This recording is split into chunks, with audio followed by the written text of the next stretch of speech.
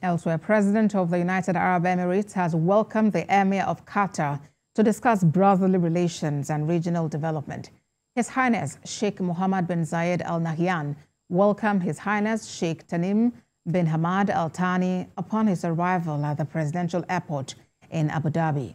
Both sides exchanged views on development in the Middle East and efforts to de-escalate tensions, emphasizing the need for an immediate ceasefire in the Gaza Strip to facilitate the delivery of humanitarian aid through secure and unimpeded channels, alongside the need to prioritize the protection of civilian lives in accordance with the rules of international humanitarian law to ensure their safety.